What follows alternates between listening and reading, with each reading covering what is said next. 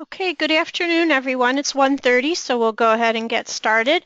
Uh, my name is Louise Savela, and I am a consulting and continuing education specialist here at Rails, and we are really happy to have Carson Block uh, back with us uh, this month to uh, talk about technology management. Uh, before I turn uh, the screen over to Carson, I just want to make a couple brief technical announcements. Uh, if you're using uh, in the GoToWebinar uh, software, you have a control panel. It's usually on the right-hand side of your screen. If you can't see it, it might be minimized. There's a little orange button with a white arrow that's called your grab tab, and that uh, will expand or, or minimize your control panel as needed. Um, everybody in the audience is muted. You do not need a microphone to participate today. Uh, if you have questions for Carson, uh, you can go ahead and put those into the questions box and those will be sent to me privately and I will be sharing those with Carson at the end of his uh, presentation. Um, you can send those questions in at any time so please um, um, use that questions box. Uh, Carson did share a handout um, for everybody today. If you look at your control panel, there is a handout section that you can expand. There's a little plus sign next to it, and it's called the Who and What worksheet, and you can um, get that there. I'm sure Carson will mention more about that in a few minutes. Um, uh, we are recording the program today. The record button is already on, so thank you to Carson for allowing us to do that so we can um, reference it again later. So I think that's all the technical announcements I have, so I'm going to say hello to Carson. Hi, Carson. Hi, Louise. How are you today? I am great. How are you? Good. Now I'm pretending as if we didn't talk a little earlier. I know.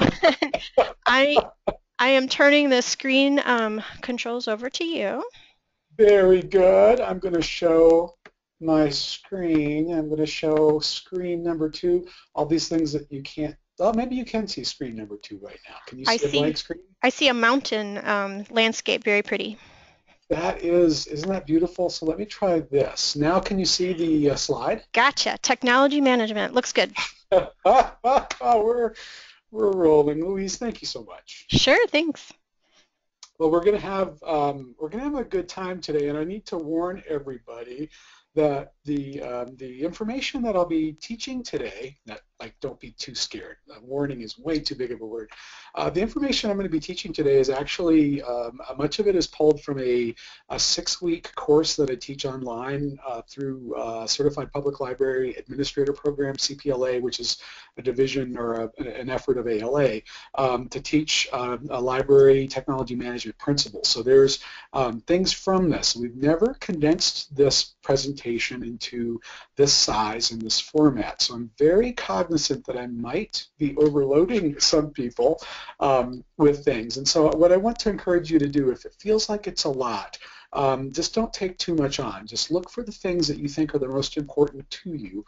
And, uh, and as well, we'll have a little poll here so that I can uh, try to uh, adjust uh, my delivery and adjust the sorts of things that I'm sharing. But I just want to warn you not to feel too overwhelmed. Um, my name is Carson Block. For those of you who I haven't had the pleasure of, of working with or, or, meeting or presenting for before, I'm a library technology consultant. I've been uh, only uh, uh, consulting for five years, but I have more than 20 years as a library technology uh, technologist, most of that time as a manager of technology. And um, I believe that there is no more important place in our communities than the public library. Um, the library is uh, one of those places where without discrimination we connect people to information access and ideas at no direct cost. We prepay those costs as citizens and we find this to be so important that libraries are the anchors in so many communities. So this is why um, I do what I do. Uh, now I get to uh, support capacity in libraries all over the country in all sizes of libraries. So I, I do work um, in the tiniest of libraries all the way to the largest, uh, including um, uh, single little projects in little towns as well as uh, huge projects that have implications for uh, the, the country and uh, this is this is what I do, and this is why I'm here. And so I hope that um, uh, what I can do today is serve your needs in terms of, of your own needs for uh, information technology management. Now, um, again, this is not going to be uh, one of those um, uh, times when you just get to like sit. I'm hoping that you will be engaged, but not over-engaged in some of the things going on. Uh, I also know something else, that the world of technology uh, for many librarians has been shrouded in mystery. It's got strange denizens, exotic rituals, and it has this incomprehensible vocabulary. Now, the world of tech is also a place of wonder where some libraries, and those are the ones who are in the know, have been able to fulfill the needs of patrons and their communities in new and exciting ways. Now, in truth, technology is an institutional asset and it as, is as essential to delivering library services as physical facilities. Now, too often, though, opportunities are missed simply because librarians don't understand the basics of what technology can do and how it can further your goals in your library. So this hour is designed to bring some of these things um, right into your hands, right into your lap where you can cuddle it and nourish it and let it grow, um, and also harness its full force in uh, not just serving uh, you as a library staff member, but really serving patrons. Um, that's why we exist.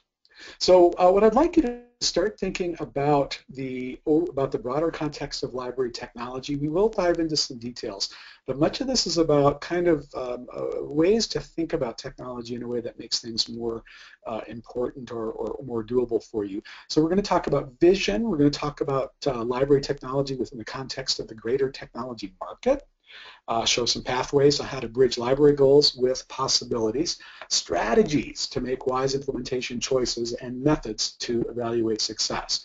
Now, again, we, uh, we've got so much here that as we're going, I encourage you, if you have a question or a comment that you would like to make, just uh, take care of it as it comes up because we're going to cover so much we might pop uh, right into the next subject and you might not have a chance to, to jot that down or, or, to ask that question. I will answer all the questions that I can after um, um, our, the presentation wraps up. We think the presentation will take about an hour. We'll see. because this is the first time we've done this. So this is uh, this is fun. So right, the first thing I want to know though is uh, two little polls. The first poll is who is here. So if you are able to, please vote in that poll, and Louise will tell me what the results are. I just want to get a sense uh, for a mix of public librarians to school librarians to special to academic. And it looks like our poll is posted, and the poll is in progress. I'm sure that people are just clicking like crazy. Yep, I'm going to give it maybe 10 more seconds. Do, do, do, yep. All right, it looks like about 85% have voted, so um, let's go ahead and close that. And let me share it. And it says that 85% of the audience is uh, a public librarian, 6% are a special librarian and 10% are academic. And we don't have we don't have anyone from a school today. Okay, well that's that's good to know because school uh, libraries have uh, have special needs that are really different than the other 3 mm-hmm. um, somewhat like academic, but sometimes like really different. So that's good to know. Awesome. Well, the next thing that I want to know is equally important, and that is the size of library that you consider yourself. Uh, are you tiny? Because there are such a thing as really, really, really small libraries, and sometimes we forget about that. Um, then there's small libraries, medium libraries, are, or large libraries. So please vote and um, uh, give me a sense of uh, our mix of those different sizes today. All right, so the poll is launched and folks are clicking away. I have a new song for this one. Tell me if you can recognize it. Da da da Sounds familiar. It's um, a little Spanish flea, but I think by Henry Mancini. Okay. And they might have used it on a Newlywed Show or something. I have no idea. All right. So um, about 90% of everybody voted, and we have 5% at a tiny library. Okay. Uh, four, great. 48% at a small library, so about half. Uh, mm-hmm. 43% at a medium-sized library and 4% at a large library. Outstanding. Very, very good. Well, I will be sure to um, to make sure that that our range of library sizes are addressed in the things that I'm talking about. So thank you so much, Louise. I appreciate it. Sure. Thank, thank you, everyone. sorry, I cut you off. so um, uh, one thing that I want to start with is vision. And um, uh, the idea of, of, of, vision, in fact, when I do, when I lead folks through technology planning processes, um, what we really want to do is identify vision, and ideally vision comes first, right? There's this idea of I know where my destination and where I want to go uh, is.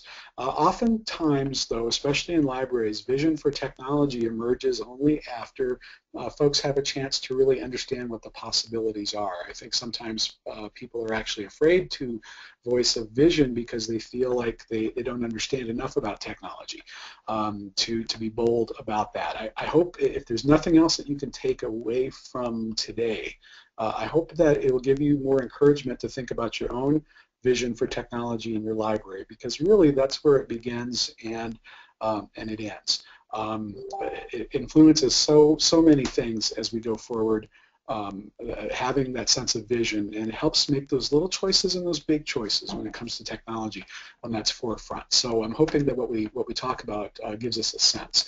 Um, this is important because this is a very confusing time to, to be doing anything actually, um, including uh, managing tech and libraries, because we're driven by many of the things that technology provides, right? Electronic content, new communications technologies uh, new physical technologies, statistics, uh, content creation tools, and uh, especially rapid and ongoing change. Uh, sometimes that is in opposition to the pace of our institutional um, uh, things, our mission and vision and things. Um, uh, oftentimes they include things like education, enlightenment, and community services. And the technology piece acts in a supporting role. What's really amazing is when you think about it, those two things actually move at a different pace, especially if you're used to working with um, a governing board or governing body. Um, the, those policy things move at a slow pace where it seems like technology is is churning.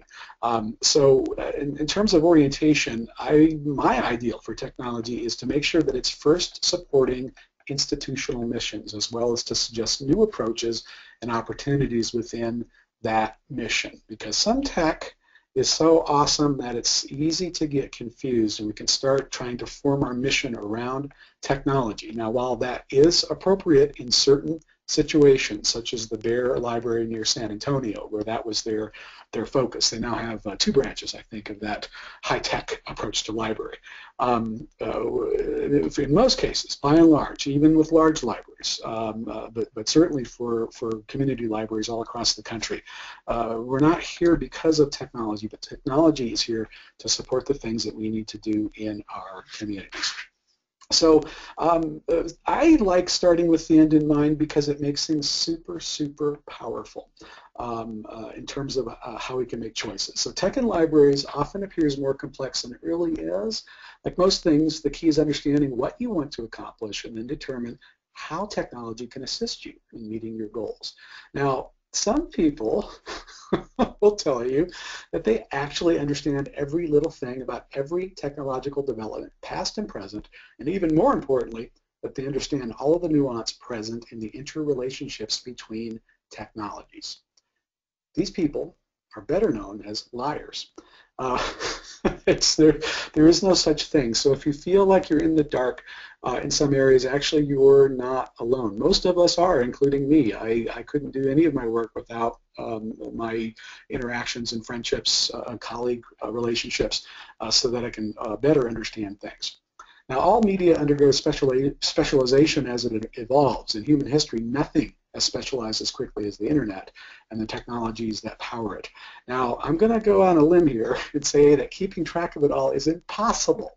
So those of us who use uh, or make our living in technology simply pick the topics that interest us the most and we enjoy teaming with others with different and complementary expertise. It's not just a feel-good technique, this is an absolute survival strategy.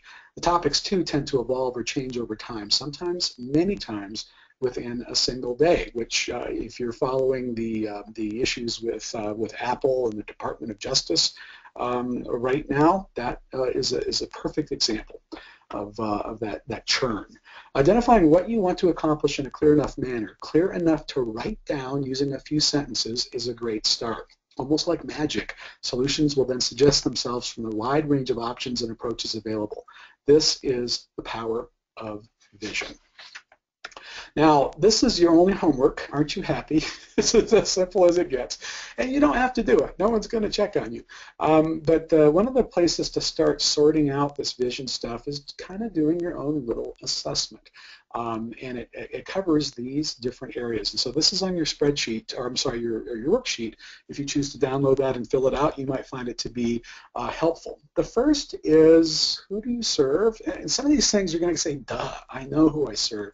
Um, I, I know the answer to these.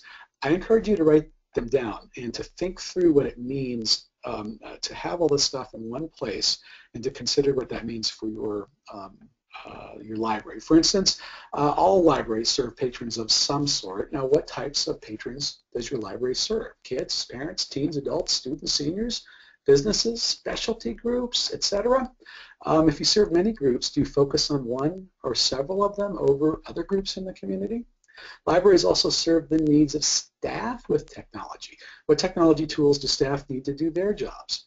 And are there any special populations within these groups, different ethnicities with different communication needs, disabled, underserved populations, others? Next question, what is it that you do? What are you doing right now? What services do you currently deliver to your patrons using technology? Now, most libraries have a website, but what do you offer? Access to your holdings, general information, patron accounts allowing folks to renew items, place holds, and more, uh, participation in consortiums uh, such as Rails, e-commerce for fi uh, fines and fees, subscription databases, historic collections, federated search, discovery tools, links to social media or others, and what in-house technologies do you offer? Uh, computers, most uh, libraries have uh, public computers, but what other stuff do you have? Is it a computer training lab, digital creation stations, maker spaces, etc.? The other um, uh, two areas to think about is what you have and what you want. All right. You certainly already have access to an ILS and have computers for patrons and staff. Uh, but do you have staff dedicated for technology needs? You know, when we're looking at the tiny libraries and the, the small libraries, chances are it's somebody on staff or no. There's hardly any. Do you have uh, contracts for services or other forms of outsourcing? Do you have servers, network infrastructure, wireless systems, etc.? It's really healthy if you haven't had done that exercise to write these things down. The other thing is what do you want? It's amazing to just ask yourself a kind of a gut reaction. What do I think we want? What do we, what I think, what do I think our patrons need? So be sure to use that, uh, that worksheet and uh, also take a look at what things I might have missed. And again, that's not required at all. I just hope it's something helpful for you to start, especially as you uh, sort through some of the other things that we're talking about. Now I hope this um, uh, this topic puts you at ease. This is the idea be, be, be, uh, between proactive and reactive approaches to technology. Now, like most things in life, there are multiple ways to accomplish a particular objective. In my experience as a worker, as an IT manager and director, and as a consultant, I found that I'm most successful when I concentrate on the objectives and outcomes required of efforts and projects than on the exact path that I or others may choose to perform and accomplish them. There tends to be two distinct approaches favored by IT professionals, and that's uh, proactive and reactive. Now, proactive folks are the ones who look ahead. They're planners at heart, and they're typified by the old carpenter's expression, measure twice, but cut only once. Reactive folks are usually very quick thinkers and are equally quick to action. They love the heat of battle and often say, let's try it and see what happens. I once had a discussion with a colleague about these two distinct approaches. Both of us are deeply experienced in the reactive approach, and we both admit that there's a thrill in those high-pressure situations. We both prefer to be proactive. I asked him which was better, and his answer really surprised me. He said, neither. To do a great job, you really need both. The trick then is in balance. Ideally, you have both approaches uh, within your library. Again, I know that some of the folks in the audience do not have a, a dedicated IT staff at all, but really, uh, I hope that you have a mix of these different personalities because somewhere in the middle there uh, is where we can really make some good choices uh, in terms of tech. Now I want to talk about the cart and the horse and who is driving cart and the horse. You might also know it as the tail and the dog. In the proper orientation, mighty efforts can be accomplished, and if a wagging tail is any indication, even enjoyed, putting these elements in the right order is simple, and you can do it every time. Among technologists, especially those adept at project planning, you'll often often hear this concept applied in terms of drivers as used in the question, what elements are driving our efforts in this area? Or more simply, what are our drivers? Drivers are kind of like the action hero cousins of goals or objectives. For our purposes, though, we're going to use both terms to mean pretty much the same thing. So once you establish some drivers or goals, then it's time to consider the resources needed to achieve them, the obstacles to overcome, and the time you will need. It starts with the question we considered earlier. What do we want to accomplish? If you do a good job with this first step, your entire effort will benefit. Identifying your drivers is the key to success in technology projects and ongoing efforts. As you go, especially when things get confusing, you will refer back to your drivers to see if you're on track. Upon examination, it's always possible that you might need to change tracks. Uh, you do that by modifying your tasks and your actions. But that should always be a conscious decision and one evident to all involved in the applicable effort. So drivers are part and parcel uh, to your high-level goals. And drivers, though, are not obstacles or challenges in delivering your objectives, and that's something to uh, to put in mind too. Um, uh, sometimes uh, we confuse obstacles uh, that we must overcome with, with drivers. And, and hopefully uh, that is not what uh, first comes to mind when you're thinking about uh, something that you want to do or uh, solve using technology. Uh, another piece of context is thinking about computing platforms. This is so, so confusing to so many people. Uh, many of us, especially in technology, are passionate about our computers and the services we use through them. In an age when computers are becoming smaller, more powerful, and even fashionable, including ones that you wear on your wrist, that passion has become more pronounced. Now, techs who use and manage computers to make their living can be even more passionate depending on their personal and professional experiences through trial and error, and hopefully through a track record of success. Many have formed strong opinions on the one correct path, and I say correct in little quotation, little air quotes with my fingers here, one correct path to accomplish a particular technological effort. And they're very faithful to their beliefs. Now, their beliefs can border on religious fervor and they are sometimes unfairly but awfully, often comically referred to as, uh, for instance, like Apple fanboys, Unix, Unix zealots, Windows tools, uh, Windows spelled W-I-N-D-O-Z-E, and other inflammatory names from others who are just as passionate about their own biases. As to a hammer, every problem looks like a nail. Techs with strong platform orientations will tend to look at every computing effort in terms of only what is capable through their platform, platform of choice. That's actually dangerous. In the old days, this was a good bet, um, and this is where this came from. And it was captured in the phrase, no one ever got fired for buying IBM. Uh, but it's increasingly risky as computing and communications increasingly specialize, combine, split, and change. So I often describe myself as platform agnostic. Uh, I, I like to use what works, and I use everything. Uh, although I don't know for sure that a true technology nirvana exists, I do believe there are many paths on the road to heavenly computing experiences, and the more options I allow myself to consider, the better the final outcomes. Amen. End of sermon. Uh, what's bad about this is I can't see you. I could be falling flat completely when I'm joking around, so I hope you're uh, hope you're enjoying that. Uh, let's think for a minute too how library technology fits into the greater tech ecosystem. And I know, I really understand this. You probably look at some of your tech expenses, no matter how small or large you are as a library, and say to yourself, this costs how much? When you see the startup costs of your automation system, your subscription fees, the annual um, cost for computer up uptake, for connectivity, you might begrudgingly feel like you're personally driving the market with your substantial investment. Now, if you do, I do feel your pain, considering that technology expenses are relatively new to libraries and seem to be growing daily, you would indeed have a point, but only when comparing your costs with other libraries. The truth is, is the library technology market is tiny compared to the overall tech market. We do have some special needs and some excellent technology vendors addressing those needs. As tech becomes a, an increasingly important part of library operations, it's also becoming a substantial investment and a growing percentage of our overall budgets. And it doesn't matter how big or small your budget is. Uh, dollars to donuts, if you if you take a look at it, look at it over time, you're going to see that you have over time been spending more money in terms of technology. Even so, in the bigger picture, we're really what's considered a niche market. That means we're really not driving too much when it comes to tech, but instead are in the back seat of this wild ride. Now, this plays out in several areas, including the specific functions technology can perform for us in libraries, the availability and development of new applicable technologies, and the cost of those technologies. The library community, of course, hasn't sit still. The open source software movement is robust in libraries, uh, and of course, uh, if you haven't, uh, if you're not familiar with open source, uh, the idea is that the underlying technology is free as in freedom, um, but not free as in beer.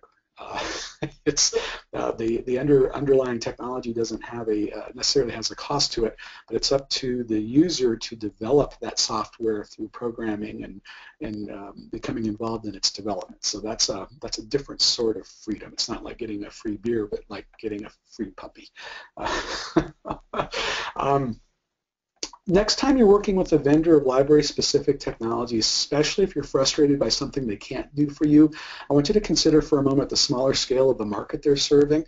There's really a magnitude of difference in the depth, breadth, and resources of a company that provides RFID systems for Walmart, for instance, uh, than one con uh, concentrating on the library market. I'm not saying that as a way of saying if a vendor is doing a bad job that you should cut them a break, because they're two different things. But one thing to remember, uh, we are uh, librarians are demanding customers because I think we deal with a demanding public and we need tools that match our own passion and, and our own uh, targets that we have for customer satisfaction. Um, it, uh, our dynamic in the tech market, though, we're, we're kind of we're kind of there like uh, in a Dickens novel uh, with our bowl saying, "Please, may, may I have some more of that technology." Uh, the role of training uh, is uh, huge. Everywhere I go, people talk about how they need more training. They need to do more training or receive more training. Training needs to be an ongoing philosophy in our world of technology. Um, to get the most out of our tech investment, we need to understand the capabilities of what we have and how to squeeze every last drop of functionality out of our systems. Now, we don't ever really buy technology, in my opinion. Uh, we only rent its capabilities for a certain time period. Specific technologies have a, a lifespan of usefulness. The actual time frame varies, of course, on the tech. But as the old blues song goes, when it all comes down, they got to go back to Mother Earth. One way to make the best use of that useful period is to commit to the time it takes to learn as much as possible and use that knowledge to get the most out of your systems. Technology is expensive and only useful for a certain time period, so not getting the most of it by providing training or seeking learning is akin to throwing money out in the street. Training comes in many forms, in-person, classroom, online, self-paced, peer-to-peer, through webinars like this, um, uh, through the organizational culture and more. Now, how you go about training can vary and should reflect what works best. Uh, just remember to make sure that that is part of your approach. Um, sometimes when budgets are cut, uh, the training line uh, is the first thing to go. I would caution you against that that approach and to, to try to think of it uh, perhaps in a broader fashion in, in terms of, um, of options. I think mainly because we have so many really good opportunities for training that, that don't have a direct cost tied to them. I think the main thing is uh, working them into your day, to carving out that time, to saying, I will uh, learn something uh, specific about um, this technology or that technology, and I'm going to make the time for it so that I'm not distracted, so that I've got the time to devote to it, etc. So um, this is where everyone wants to start. How much is this going to cost me? Uh, well, there's a lot of costs uh, involved in technology. Um, my my least favorite question slash most favorite question is how can I save money with tech? Okay, so I have a I have a, an answer that most people hate. Um, you don't save money with technology. You spend money. Now, um, bear with me here. You may disagree with me, and that's okay. Uh, relatively speaking, tech is expensive. Uh, despite my cavalier response, the truth is, is that you really can save money with tech, but most often in libraries it's indirect, and it's through efficiencies that technology can provide for us in uh, areas across uh, the organization. Uh, we're going to use RFID, radio frequency identification, just as one example. Hopefully uh, most of us are, are, understand RF, RFID, but for those who don't, uh, briefly, uh, RFID is a touchless way of inventory control in libraries. So it's a, it's a tag that emits a little radio signal. It doesn't need a power source. It's really, really cool. It receives its power over the air from the, the antenna that's actually reading it and it uh, can transmit simple information uh, that, that equivalates to the barcode information that we would have on a, on a book uh, with a barcode or, or, any material with a barcode, as well as uh, security information, whether or not it's supposed to be in the library or outside, etc. Now, RFID uh, upfront costs in terms of dollars and the staff time, the retro conversion process of converting a collection, those are significant costs even with the cost of RFID tags dropping over time, and remember libraries are not a major influence in the technology market, the per tag cost uh, can be a significant factor as well, especially with big collections or small collections when you have zero budget, right, if you have no money for this. Um, other components of the system can add up too. A move to RFID represents a significant investment. Hmm, let's start thinking about it as an investment because for many, the efficiency gains from migrating to RFID can be equally significant. One common rationale to convert is to greatly improve efficiencies in your circulation. And if your circ department needs help, RFID could be a magic bullet. But if your circ department is already efficient, RFID can still have significant impacts by greatly improving customer service. And when combined with self-check systems, e-commerce at the terminal, and other services, it can go even farther. So in certain cases, the investment in RFID can pay for itself in terms of the efficiencies it can bring to your customer service efforts. So much to my chagrin, technology really can save you money. However, and I'm very careful to qualify this, the biggest gains often come indirectly and often through efficiencies. Uh, don't forget as we're going uh, forward uh, with the with the presentation, if, if, if a, something strikes your fancy, uh, pro or con, if you have a thought to share or a question to ask uh, after the presentation wraps up, um, Louise will be uh, collecting those and moderating a discussion afterwards. Um, as with this, when I teach my class, one of the things that I encourage you, as well as all the students who've taken it, if something here does not particularly bear well with your own experience or if you've if you have a different opinion of it, um, please share that because that helps the learning for everyone. Um, I certainly have my perspectives on technology, but there are a lot. Uh, great libraries are hyper-local, and that means that there's special uh, needs, special experiences uh, throughout the country um, uh, where hopefully most of this applies, and, but some of it just may not be uh, good for you. At the same time, if something is really resonant with you, if it really you really agree with it, I'd love to hear about that too because that helps others uh, when they're evaluating this information. This might bore you to tears. Um, but this topic is so important. Again, I'll, I'll, refer you to the issue going on with, with Apple and the request to um, to jailbreak or not jailbreak, but to uh, de- uh, unencrypt the the uh, telephone of a, a suspected terrorist. Um, and uh, while we won't dive deeply into that, but technolo- this this speaks right to technology policy. The uh, uh, predictions this morning, anyways, that this was this would probably go all the way to the Supreme Court because of the stance that Apple and the Department of Justice is taking on this. So, um, if you haven't paid attention to this, I would like to encourage you to uh, again carve out a little bit of time because we are information uh, professionals in libraries, and this is the new frontier of intellectual freedom. Technology policy from the federal level on down can be complex, especially if you feel alienated by the terminology and the concepts, right? You may wonder why you should bother with it at all. What does technology policy have to do with running a library? With so much of our efforts being supported and driven by tech, policy has emerged as very important. If you haven't been paying attention, this really is a good time to start. You can get a jump start through our professional organizations, including ALA's Office of Information Technology Policy.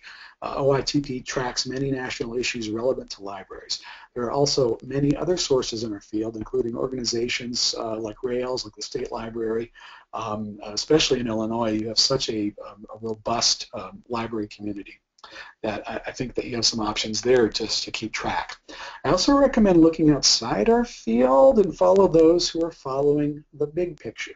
issues like digital rights management, telecommunications uh, uh, fees and tariffs, the uh, E-rate, uh, net neutrality, copyright, broadband access, wireless availability, and more are vitally important.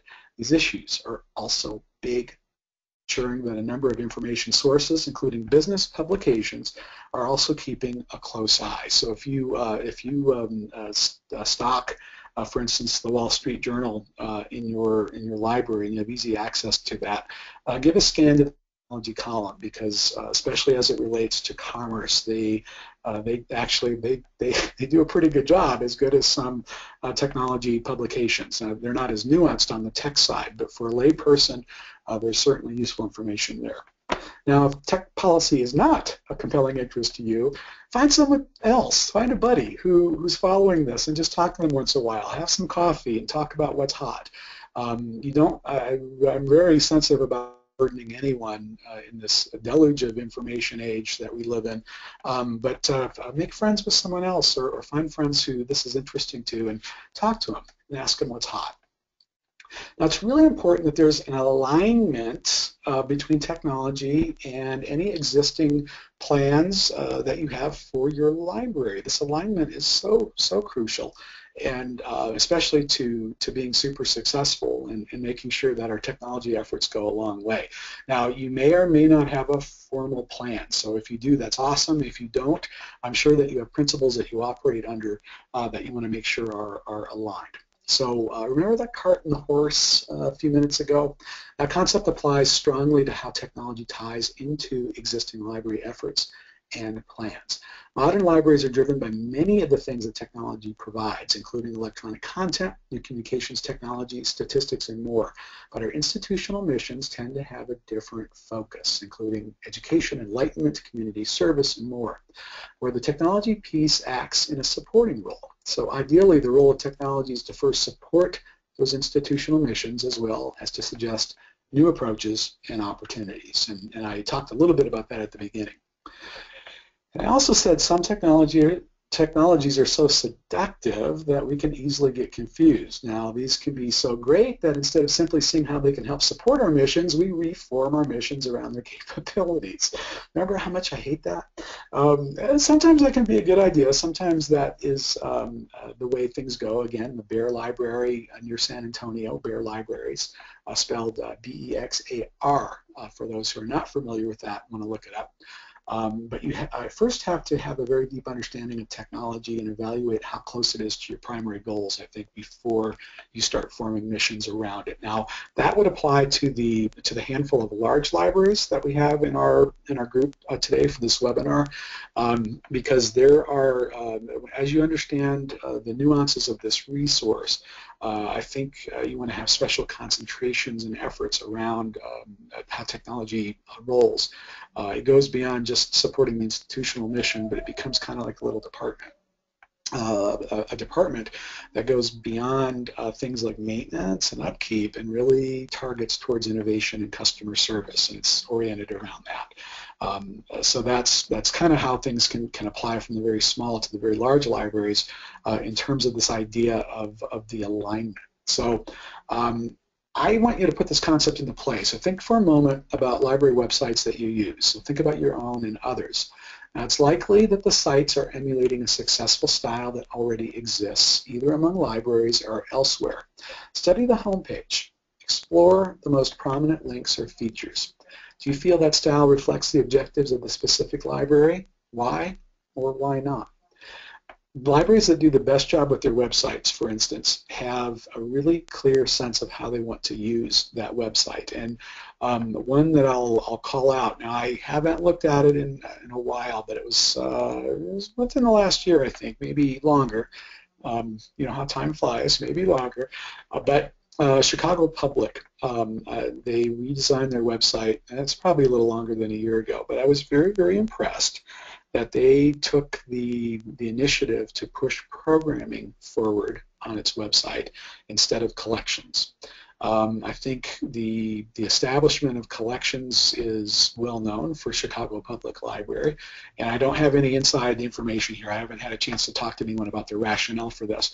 But it's very noticeable on the design side that they were pushing programs, programs, programming, and customer experience on that website as a focus. So for me, that was a really good example as opposed to at the same time uh, the Douglas County Libraries in uh, Colorado um, who developed a special ebook program. So they were actually pushing forward electronic collections uh, on their website. In both cases, I think um, uh, both websites really, really reflected the primary purpose and, and focus that they wanted to present to their digital users. Then look at some other websites, some general websites, and um, you, I don't know that you'll see or get that, that real, real sense of of uh, that that library's uh, mission and vision um, and how it wants to use technology to serve patrons. It looks kind of more like a bulletin board, you know, and things like that. And I'm not criticizing that. I understand that there's time um, and, and, thought that has to go into doing a good website. Um, but uh, this speaks to that alignment of technology or, or, a way that you can evaluate the alignment of technology with, with the mission.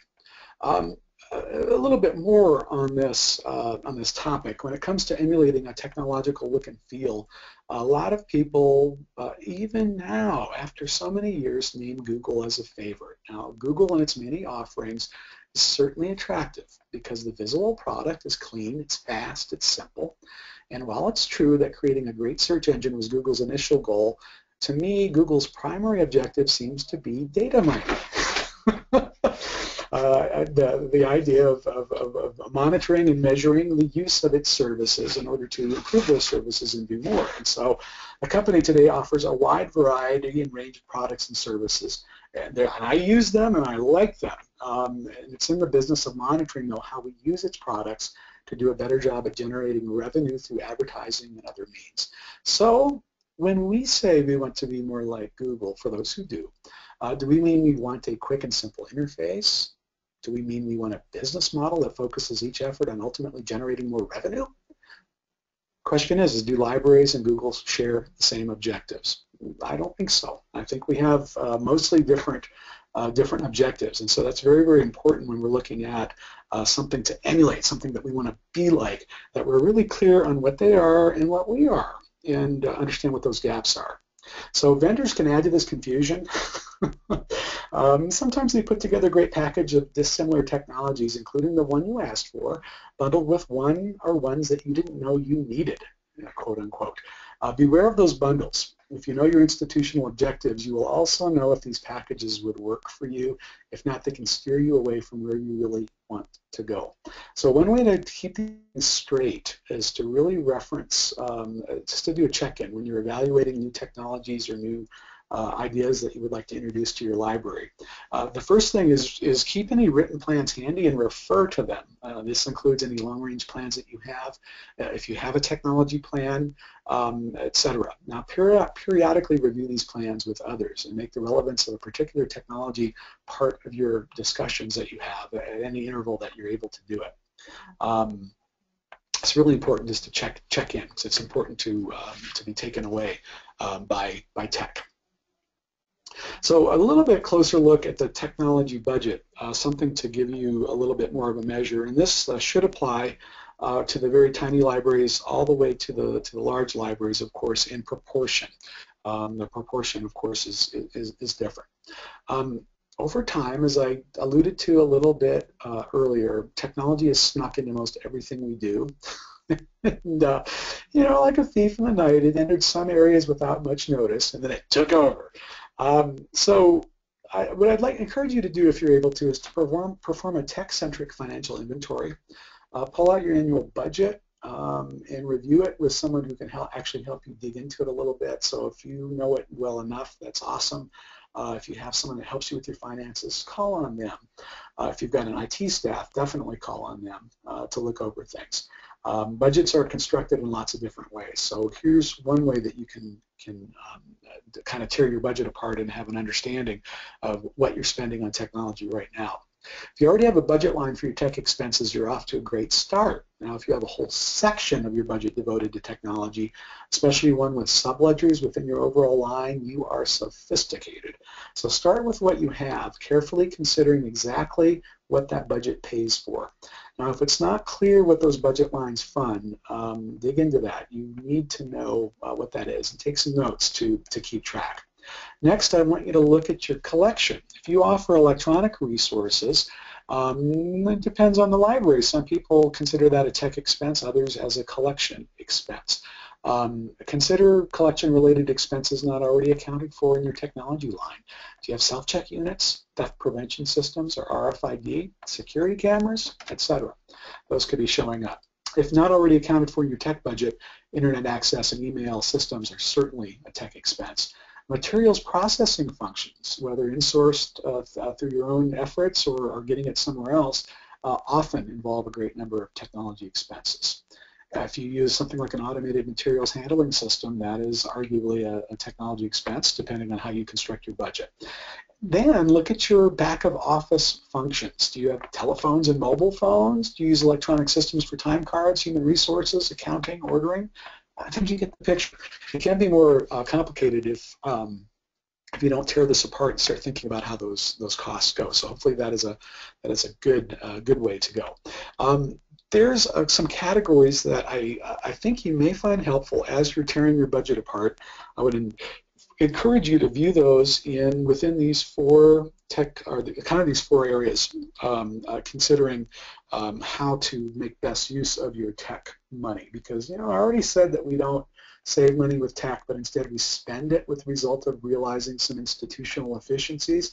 Okay, with that outlook, you might expect me to pontificate about loosening budget constraints, spending freely, etc. No way. Technology spending can be a model of efficiency or it can be a deep, dark, bottomless hole that consumes all the cash you throw at it with no results. That's the worst case scenario. Budgets need to be created and carefully monitored to ensure that you're on the efficient side and far away from that black hole of spending. Mastering tech budgets is outside the scope of what we're doing here, of course, but here's a few simple concepts that you can apply to budgeting. Uh, one is uh, thinking about uh, things that we classify as ongoing monies, and these should be evaluated in an ongoing fashion. Be aware of areas that can be trimmed annually because they are no longer needed. Uh, for instance, typewriter repair. If you no longer have a typewriter, and you might, you might have one that, that's that's getting lots of use. Um, uh, but if you know if you don't, make sure you take care of that. Uh, in any areas that should be shored up, like electronic media access. That's the that's the idea of monies that you're spending every every year. Um, you can think about uh, your technology expenditures in terms of new projects. These are things that are brand new this year or next year, whatever your budget cycle is.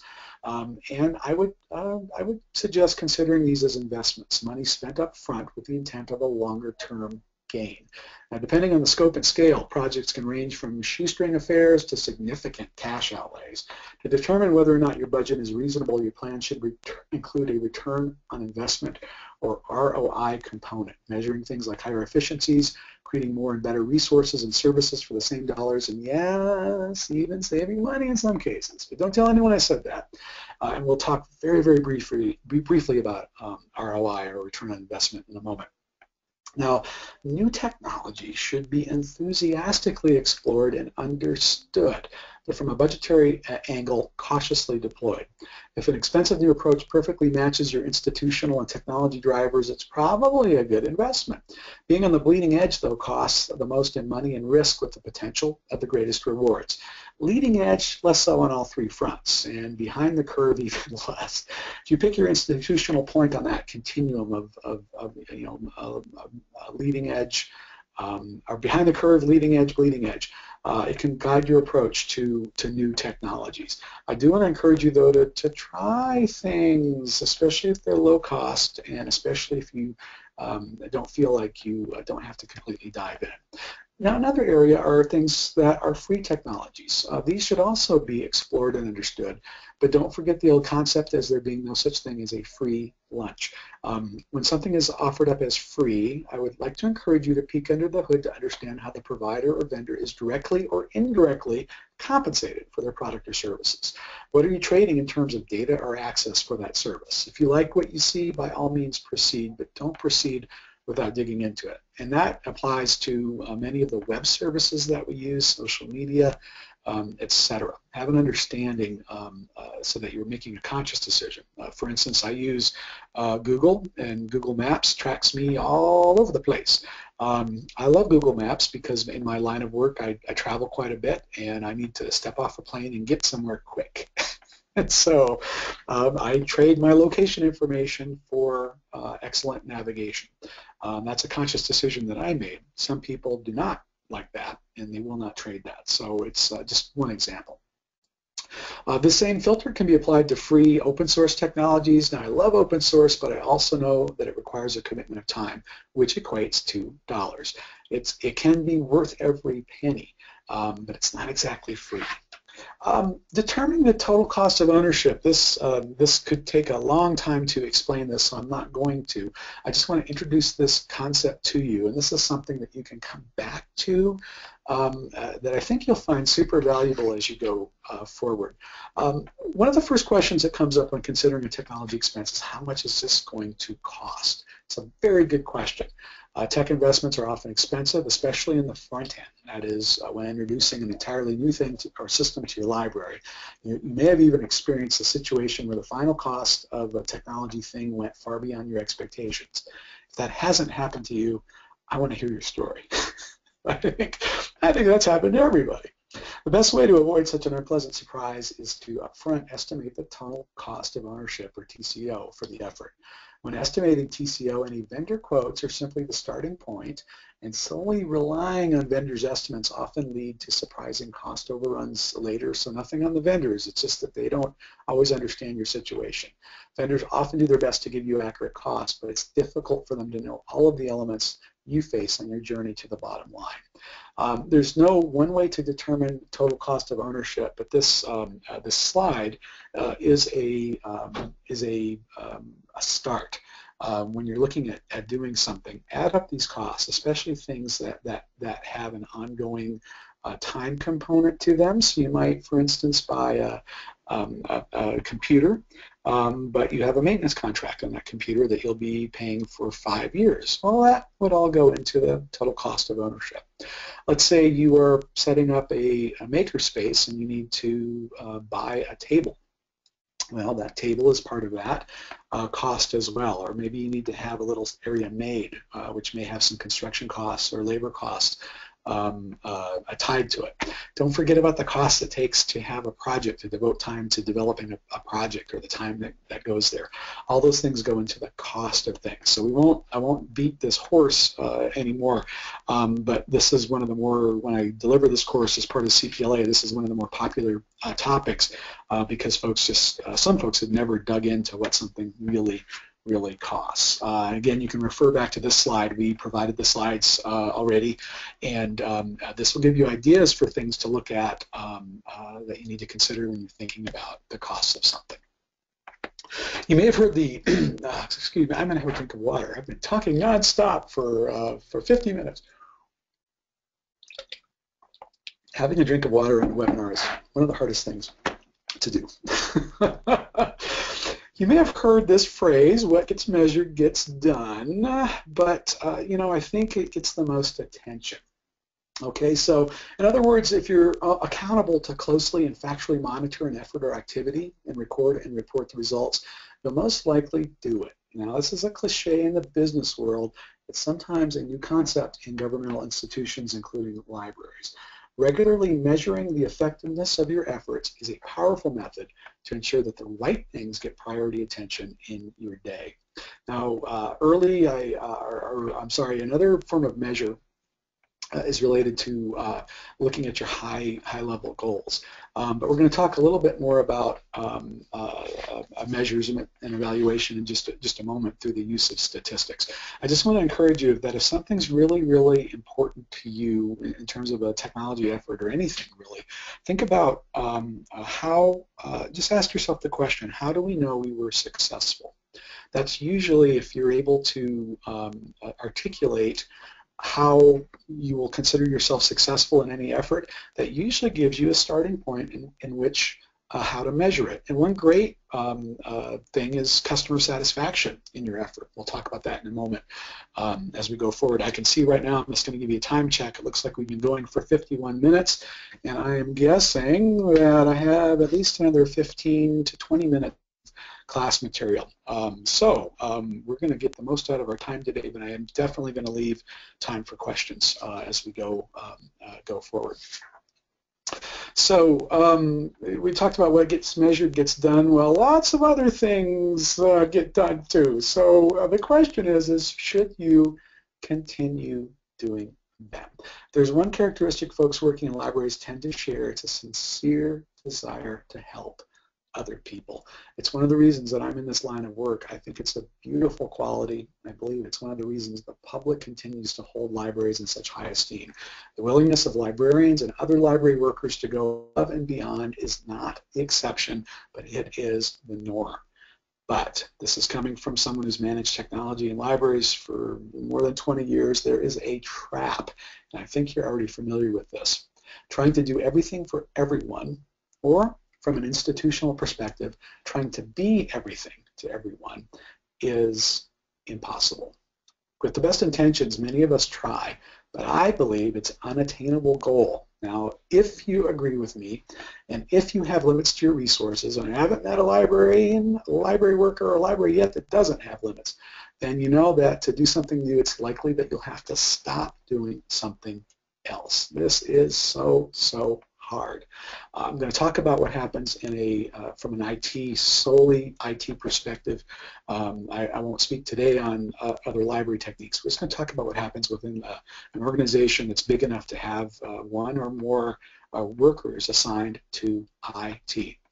There's a daily reprioritization that goes on in any any IT shop where the high priority ta tasks get attention and the low priority tasks shuffle to the bottom, perhaps never to be considered worthy of effort again. That is not awesome. That's just how it's done. This is why if you've worked in a in a uh, within a in a place with an IT worker, again, whether it's a one-person shop or whether it's a whole department, um, you might have asked for some help, and then you realize after a little while nothing's getting done. It's like, hey, what's happening? Um, and so that that that that reality is is a real difficult thing. So I understand the complexity when I say that um, um, we can't be everything to everyone, and we have to say no to certain things. Here's a couple of here's a trick that I think will work to make it uh, so that it doesn't create bad customer service, that your priorities do get met, and that decisions are uh, correct and everyone's informed. Number one, all reprioritization should be a conscious decision made in consultation with others as appropriate, and monitored and reported like any other activity. It's also important for others in your organization to understand any reprioritization decisions and perhaps even have the opportunity to challenge them. That's, a, that's a, not always appropriate, but sometimes it's a real healthy thing, especially with um, um, controversial uh, or nuanced a decision. And it may be good for, or it'll be good for you to have a personal breadcrumb trail later to help you remember why some efforts lost out over time.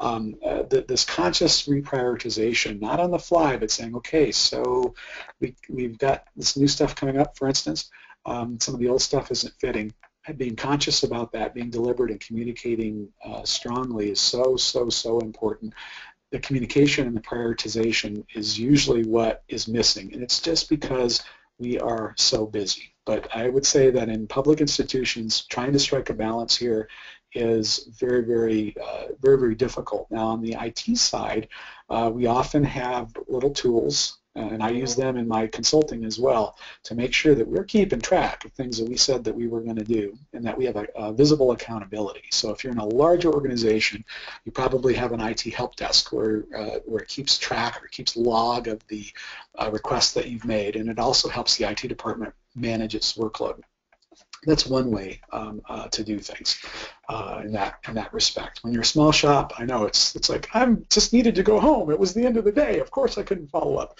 Uh, what I'm saying is to kind of try to rethink that because it's likely, it's probable that as we go forward with technology, that we'll be faced with that constant reprioritization of task level things. So um, uh, we talked about um, a measurement being a, a kind of a, a, great indicator to help us uh, scope our efforts, etc. So what are the most important things to measure? Well, the nice thing about technology is it often comes in with built-in ways to measure stuff. Uh, so for instance, when I was writing uh, this, this thing the first time, uh, my word processor, processor automatically uh, created statistics for me. It told me how many words I had, um, how, many, how much time I was spending writing, etc. Now that same report um, uh, also has other cool data things. Now for our own technology efforts, the sorts of things you measure should first be by, uh, guided by any basic requirements that you have at the state or, or federal level, such as annual reports or surveys that most libraries participate in, as well as any additional institutional objectives um, uh, that you have, things that are very, very important to, to you. You probably are already familiar with measures that you submit as part of annual surveys, but you may not be aware of all the statistical gathering places in library land. A few to sample are uh, uh, here, and we won't dig into that, but, um, uh, uh since we're going over time. Um, but if you're not aware of these uh, five websites, the Public Library Data Service Statistical Report, the ALA Office for Research and Statistics, the Library Research Service, Pew Internet and American Life, and Library Edge, take a look um, uh, just to see, because uh, there are also pots of data that you can use um, uh, when you're thinking about uh, your own efforts. Um, there, I think what I'm going to do, just so we can allow time for questions, I'm not going to go super deep um, uh, into into this page uh, or, or, to this requirement. Um, but uh, what I want you to do, in fact, I'm going to go off script here, and I'm going to suggest that when you're looking at measures related to your technology, um, uh, try to have an understanding first of the things that you're already collecting. So when it comes to things on the ILS or website, uh, there's certainly useful statistics that are already being gathered that tell you something. And these statistics are important not in of themselves, but when uh, con considering changes over time. Um, one, uh, sometimes uh, we, especially in technology, um, we have an interesting conundrum. Uh, I'll give you an example of changes over time that are very, very significant. In many of the libraries that I'm, that I'm working with, their user sessions for patron PCs are not growing. So they're not, for a while they were growing and they just couldn't supply enough uh, patron PCs. Um, so that's become kind of a static measure. For some libraries it's gone down. At the same time, the use of their internet bandwidth, their Wi-Fi usage in their library has been increasing dramatically. Um, anecdotally, we can we can say that, that the results of understanding those two items is that uh, because of, uh, in some areas, patrons are able to afford their own technology to bring into the library, that they are uh, still finding value in the library as a place to be and a library as a place to connect to the internet. They just might not, in these certain libraries, require that physical uh, computer as much as they did in the past. That's an example of thinking about uh, things to track uh, if that's important to you as a way to help inform um, what you're doing. Now, of course, if you're focusing on your website, uh, development of your social media, there's all sorts of metrics that you can um, that you can track uh, track there. Now, there's also some advanced statistics. Um, uh, for those of you who uh, want to geek out even further, you can overlay some of your statistics that you're gathering and mash them up with other um, uh, things like Google Maps, for instance. Um, uh, you know, you might be, in, in, in, in fact, in the, the, the, the, efforts of planning, these are things that you absolutely want to know. Um, where do your patrons live physically? Um, where do they work? What is the library that's closest to them? What other libraries do they use? How many live within a one, three, or five mile radius of, of your library? What are the demographic and ethnic makeups of the neighborhoods around your libraries or your users? Um, things like that. Um, so uh, I know for, for some of the tiny libraries and small libraries, uh, you haven't had a chance to really think about this, but if you're um, because you're busy, right? You've got things going on. But um, if you if you have the opportunity to, um, for instance, grow or to, to, to have a different location or think about your service levels, exploring options to be, be using data that's available to better understand your community uh, can be a very, very, very um, strong influence on um, the services that you, you decide to focus on. Remember I said there's things you want to do, maybe some things you want to stop doing. Sometimes this data can give very powerful direction in terms of uh, the services that you want to focus on in your library. and sometimes it's surprising, uh, especially as uh, we have uh, uh, immigrant populations um, uh, opportunities coming up. Um, uh, a lot of times we just see folks coming in through the door. Sometimes we don't even know they're there because they don't come to the library. I, I know that in a lot of uh, Spanish or, or, or um, Latino areas, sometimes the library can be uh, sometimes it's totally trusted and it's a robust part of society. Sometimes it's looked at as a government institution from a, a Latino immigrant, not necessarily trusted. So, um, and most libraries I work with want to fix that issue. They want to change that perception. So that's an example of using advanced statistics to um, help you with things. Now, be careful because statistics, like any baseball fan can tell you, they can be extremely addictive, right? And so uh, we want to be careful not to go down the rabbit hole in statistics, but really think what statistics are important to us to make decisions or to manage our library, uh, whether it's you know decisions about technology or uh, services. It doesn't matter. Um, things do change over time, and so there's a couple of methods for uh, course corrections um, that you can do. Like what, what happens if things aren't going as you plan? Well, you have at least two choices. Uh, one is to lie down quietly and hope the problem will go away. Uh, that's my favorite. Uh, the other is change your course of action. And I, I want to just briefly encourage you um, uh, to not be wed to the way in which you uh, plan to do something, but be more wed to the goal that you wish to accomplish. And allow yourself that, that luxury of failure. I know it's a that's a bad word in a lot of places, but allow yourself the luxury of failure in the specific path and allow yourself the flexibility to change that path in order to reach reach the goal. Um, I'm weird. I really don't mind abandoning uh, courses of action that are not getting me to my to my goal. Um, many technologists feel that way, but as many uh, also feel uh, wed to their certain direction. As we talked about that with uh, uh, the choice of platforms, etc. Um, I don't think that the the, the the, the exact method is nearly as important as the goal that you're trying to uh, achieve. So that's just what I want to encourage you to do when it comes to technology, because technology does give us lots and lots of options to solve a problem. So if the first thing that you try doesn't seem to work, it's okay to abandon it and to try a different way uh, in search of that goal. Um, there's course corrections for your budget. Uh, I, I, was talking about some different ways to think about, about the budget earlier. Here's an even simpler um, uh, way to think about your budget. And this will help you with course corrections, especially if you're able to, to look at this. You should look at this at least once a year to see where your technology budget is going. I found it always helpful to think about it in three broad chunks. One is maintenance, and they're not necessarily equal like this either. So um, uh, just, just so you know, um, uh, that wouldn't that be nice? Uh, it's the peace sign guiding me to uh, a great technology budget. Um, one is uh, maintenance. This is the stuff uh, that you have and just keeping it going. That's a very, very, very important uh, piece of it. The other category is thinking about your technology in terms of growth. New stuff that you know you'll need. Stuff you don't have now, but you're going to be investing in it in the next budget cycle. This is not necessarily snazzy stuff. This might be things like replacing your switches in your server room, which I'm sure you're saying, who cares? Well, you do. That's the core of things, right? Uh, that's what makes all the other stuff work really well. So um, this is just new things that, that, that will occur over time. They're not necessarily sexy things, they're just things that you need. The third is what so few libraries invest in, and that's innovation funding. New stuff that you don't know yet that you'll need. I know with a tiny budget, I'm, I'm asking you to do the impossible, but if you can save just a little bit to be able to take advantage of opportunities within your budget cycle, I think that you'll have a better um, chance with technology. And I'll, and I'll give you an example.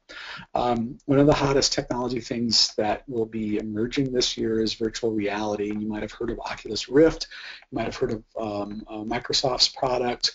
Um, uh, the idea is that these are these are goggles that you wear and headphones that allow the user to immerse in a 3D environment. And it's almost like being inside of the matrix.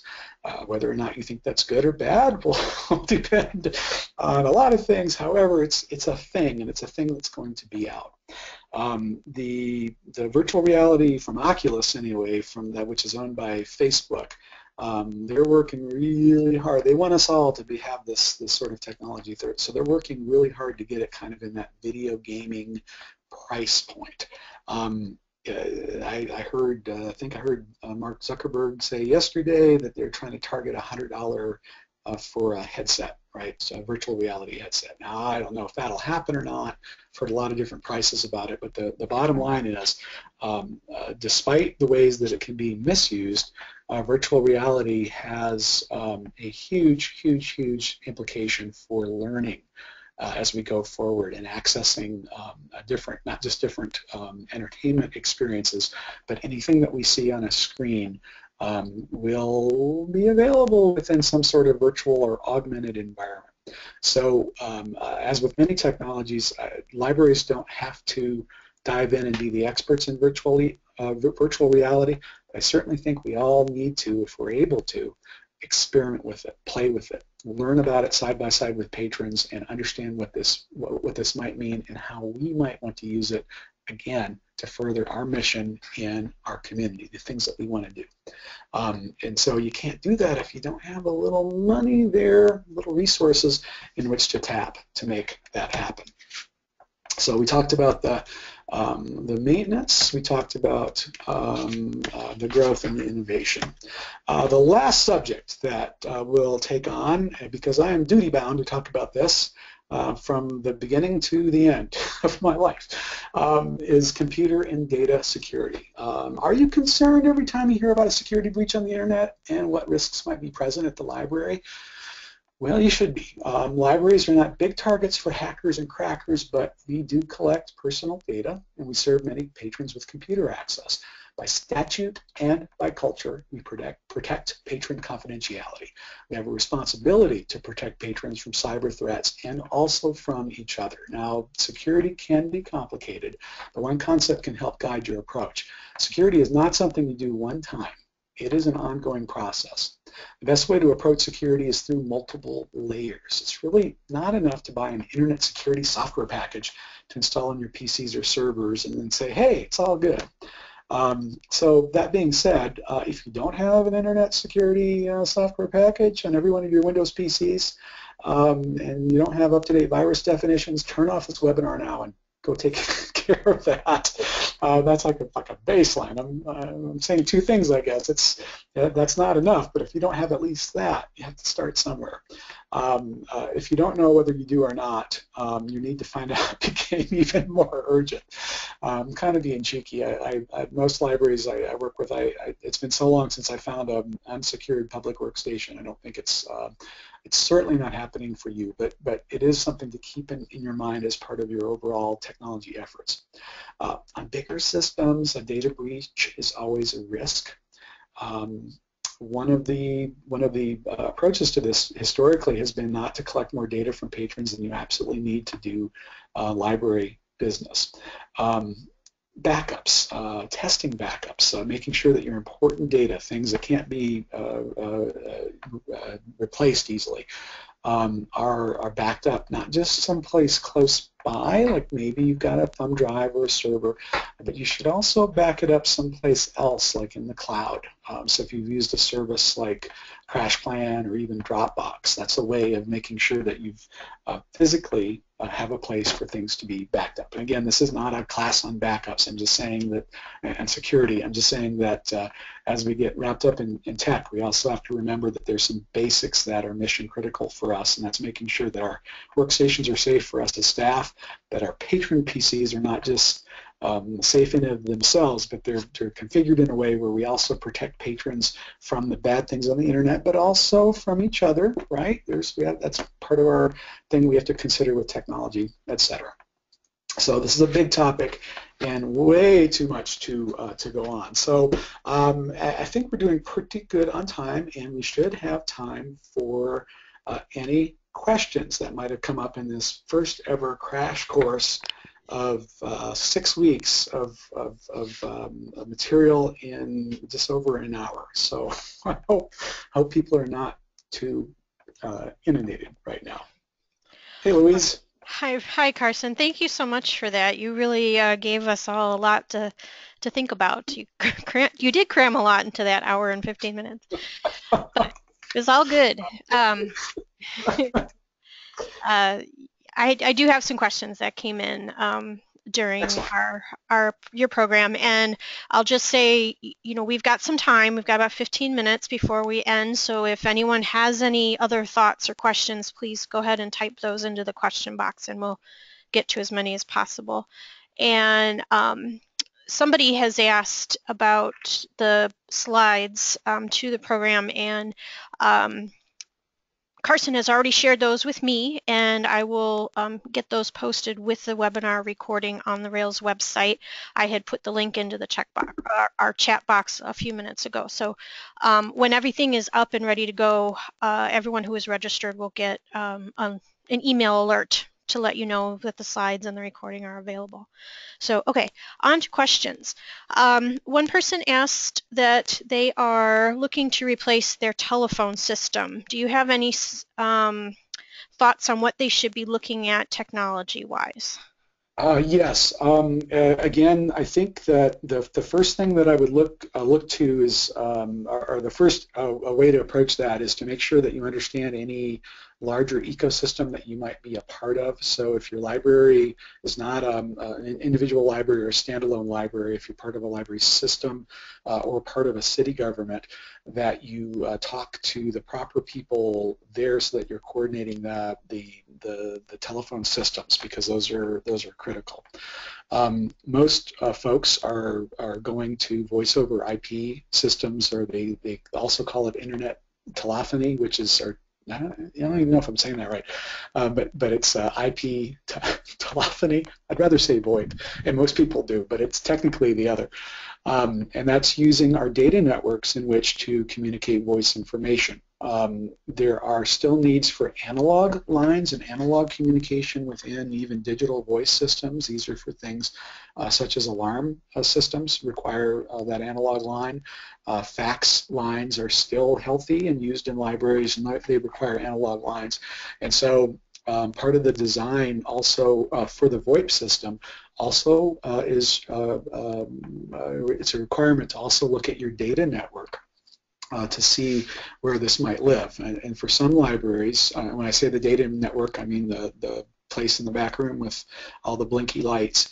Um, some people uh, are they have a good enough network where they're able to integrate and protect that voice information on their regular data network. They can do advanced uh, things to manage that network so that the voice system is always there and it's not competing with other needs in the network so that it can happen, uh, the voice stuff can happen like it's supposed to. Other libraries have completely different systems for their VoIP networks in, in order to ensure quality. So I hope that's, that's helpful as you're looking at uh, a new telephone system. All right, thanks, Carson. Uh, the next one is, uh, do you have any thoughts on Google Cardboard from this perspective of managing technology?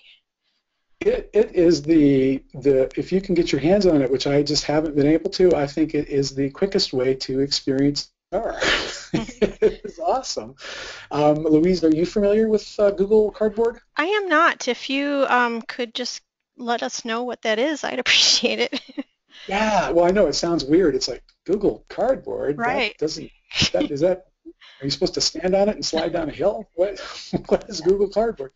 Uh, Google Cardboard is kind of a neat, um, uh, low-tech way to turn your phone. I think it just works on Android.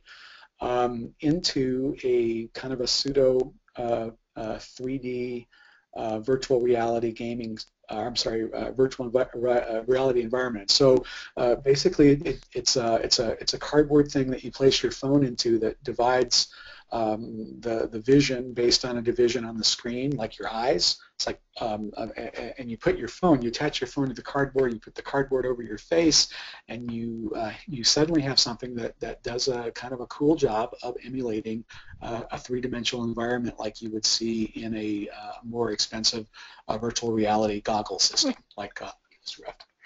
That's cool. Uh, the person who asked the question says it also works for iPhones too. So. Oh, it does. Good. Thank you for that that clarification. I've been trying to get my hands on it. I've had the other stuff, and I remember the New York Times gave it away when I was traveling in New York to subscribers um, a few months ago, and I've just I've been meaning to to do that. I haven't been able to do it, but if you can get your hands on it, uh, and which it may be simple, do it. it sounds like fun. All right. And then kind of related to that, somebody else is asking about the Mattel ViewMaster virtual reality as well. I, I think that is the, the, the coolest um, uh, tie-in. Uh, I, like many uh, people, have fond memories of the, the first kind of experience looking through a ViewMaster. Um, for those in the audience who haven't done that, that's that's an early way of doing 3D uh, using a, a, little device that used film uh, with properly proportioned um, uh, uh still photographs that actually goes back a long time. We can we can find uh, on historical collections you can find 3D type photos from the, the beginning of, of photography.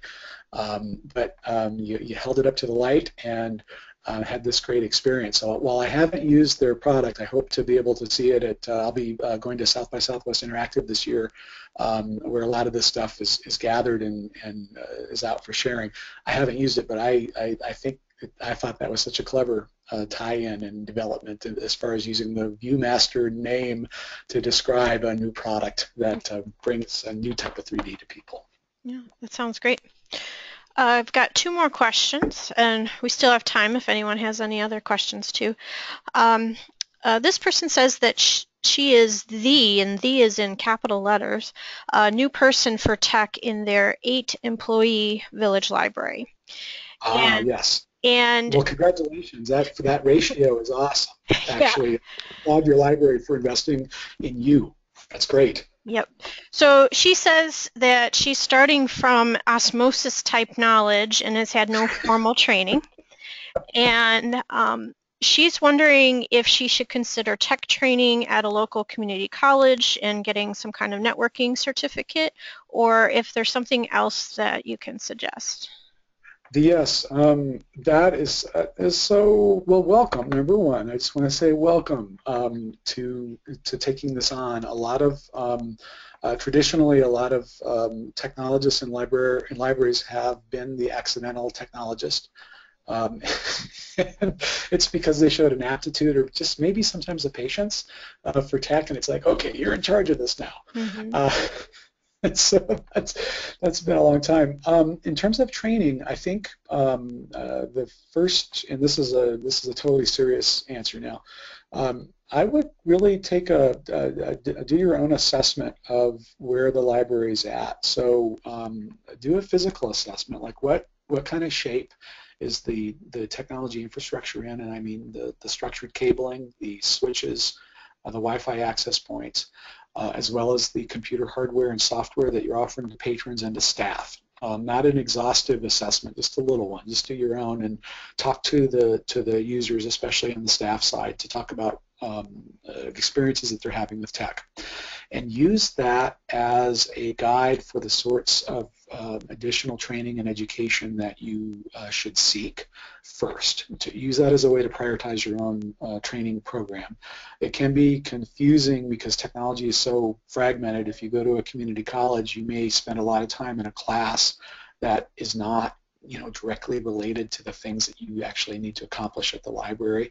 So mm-hmm. start with that assessment to start getting a sense of the most important needs, and then start looking around for resources. Um, I would say that to begin, you probably don't need to go to any classes, um, but to use uh, YouTube, for instance, or to use a service like uh, Spiceworks or any uh, chat boards uh, on the internet where texts gather to start answering some of your questions. So I would actually, um, uh, that's not a long-term strategy, but I think for your initial strategy, try to find where your pressure points are uh, right now and then seek um, kind of hit and run, no cost or low cost uh, resources via, via, the internet to start uh, trying to understand a little bit more about the basics. That's great. Um, you know, somebody else um, while you're talking chimed in that she's from a 25-person library and is kind of in that same situation that she's the, new, the, new, IT person and is kind of learning just on the job as she goes with no formal training. So, um, well, welcome to you as well. yeah, um, but those are great suggestions. And um, the last question I have is, um, what is the name of your CPLA course? And I don't know if maybe you could talk about that um, in general oh. too, what that means? Sure, yes, yes. Um, it's called Management of Technology, mm-hmm. and CPLA stands for the Certified Public Library Administrators Program, and uh, it's through it's offered through ALA. The primary, like the way this uh, curriculum, uh, the way I wrote it, it was for CPLA, uh, but since then, uh, when ALA has offered it, it's been offered about twice a year uh, for the for the past few years. Um, we we've had um, not just CPLA candidates, but actually people that just were generally interested in technology management and um, uh, concepts. And one of the scariest things for me is I've had peers take the class. These are people that I hmm. know and love and respect, and they've taken the class to talk about, you know, keeping me on my toes. Uh, to have a peer out there, and, and you, but you probably noticed that through the, the things that I talked about here, uh, is that I believe that the most important um, part of the class, and we do go through a lot of specific exercises, um, two things are really important. One is a framework in which to make decisions from a library perspective, um, because most of the stuff that I that I've talked about today, I think a lot of people have feel felt alienated from, and I've tried to make it um, accessible because I believe any, no matter what size library you are, um, a library director, a library staff member needs to have these basic understanding of this, of the, these essential resources. And if you do have that understanding, you can make excellent decisions. So that's part of it. Um, the other part of the class itself that I think makes it so enriching is that it's designed for high interaction between classmates so my role is to be a guide and to direct people around the topics that I think are important and helpful. It's the students' jobs to, this is how you actually you get your grade. I don't grade you on um, you know, ABCD. Do you participate on the discussion boards? Share, do you share your experiences um, uh, on these issues with the other students, and do you respond and help other students through your um, responses and experiences? So it's a kind of a combination, I think, of the, the, the concepts, uh, the broader concepts, and that, that class interaction between students that actually make it worth doing. Great. Um, I put a link uh, in our chat box to it. It's it's ala-apa.org slash certification, and you can find more information about it there. And um, that was the last question, but I've got one more um, comment here. One of our attendees reminded me, um, and I'll shamefully plug RAILS um, for networking groups and forums. Um, you know, we do have, yeah, for, for um, if, if folks are not aware, we do have community forums on um, a variety of topics, and there is a technology one, and it's just an email listserv. You can sign up and, and you can toss your questions up there, and, and I've seen people really helpful. But there's also um, other networking groups, and it's some of it's regional, some of it is by what type of role you're in at your library. So if um, maybe I can post a link to that as well. Let me go to our yeah, that'd be wonderful. Networking networking page. So, you know, so we have in-person events as well for you to. Um, sorry about that. Indeed, indeed. You have, if I can, if I can speak to this, I've been Yep. um, lucky to work with different rail staff for um, for a while now, and what I'm really impressed by is I know the the complexity of the, the rail system and the, the the number of different communities that are uh, being served, uh, kind of under the, the, the guidance or umbrella of RAILS. Um, and that can make uh, things you know fairly complex sometimes, especially with uh, with the, the variety of libraries Uh, in Illinois, the uh, you know rural to the to the like the super rural to the super urban. Mhm. And what's impressed me about rail staff is that everyone embraces that um, that challenge and and kind of works through it every day. So I think uh, in particular your organization, um, uh, you know, nothing of course is perfect, but by golly, I everyone I've talked to uh, gives it their all. Um, uh, every day in, in terms, especially in terms of that, that reprioritization process. And so I, I think that that's uh, certainly the best asset that you have.